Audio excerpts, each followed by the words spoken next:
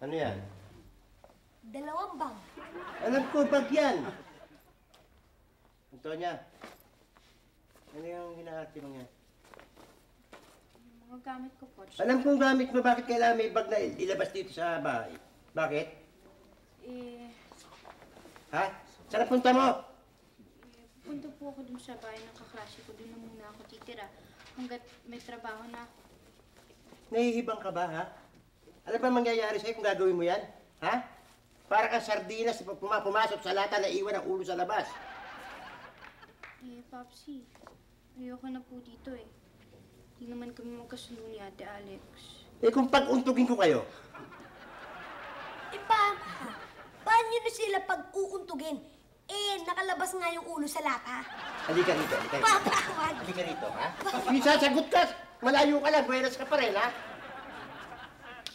Sigilan nyo yan, ha? Ako na bahala. Ako na. Cool ka lang. Ako. Ikaw na bahala. Alam ba kung nabubuhay lang si Mamsi nyo? Hindi ba magkakaganito? Mamsi, hindi mo sa akin, puro sakit ng ulo. Hindi na sila nag-aaway-aaway pa. oh. Okay, Papsi. Bahala na ako. Bahala, ikaw ang kaaway. Tony, ano ba talagang kinasasama ng loob mo?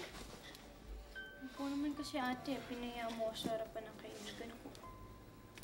Oo nga pala, sorry. Sorry, kasi talaga mainit lang ang ulo ko eh. Dahil nga yung sapatos ko. Anyway, ano ba yung, alam, itatanong mo ba sa akin kung ano yung kinasama ng loob ko?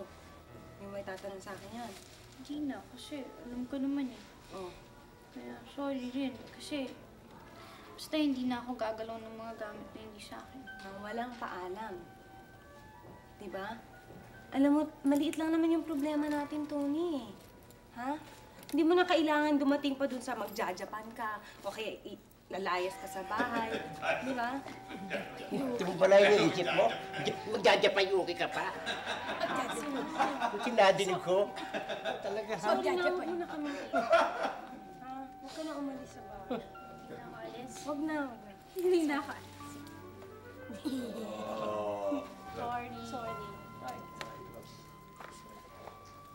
Friends na oh, kami. Okay na, Tama sabi ko, ako bahala eh. Kalimutan nyo na yan ha.